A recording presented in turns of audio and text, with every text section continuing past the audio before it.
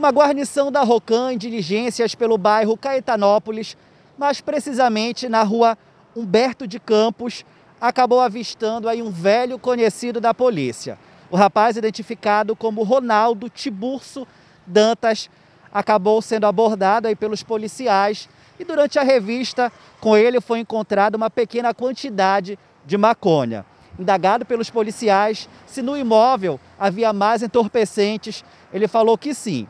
Então, a guarnição fez uma busca dentro da residência, onde foi apreendido mais entorpecentes. Ao todo, os policiais conseguiram apreender 62 gramas de maconha, 24 gramas de crack e 13 gramas de cocaína. Ronaldo foi preso, onde está aqui novamente na delegacia à disposição da Justiça.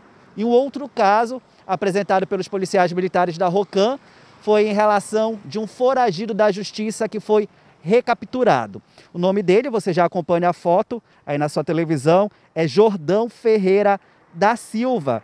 Contra ele consta mandado de prisão preventiva. O mesmo já tem três passagens aí pela polícia. Indagado pelos policiais, né, ele já afirmou, ele contou que já pagou o que devia para a justiça, inclusive também contra o irmão dele ao mandado de prisão. O nome dele é Marcelo Ferreira da Silva. O mesmo não foi encontrado dentro da residência pelos policiais. Só lembrando que a Rocan chegou até o paradeiro de Jordão Ferreira da Silva após receberem denúncias anônimas. Ele foi apresentado aqui na delegacia, onde também está preso à disposição da Justiça.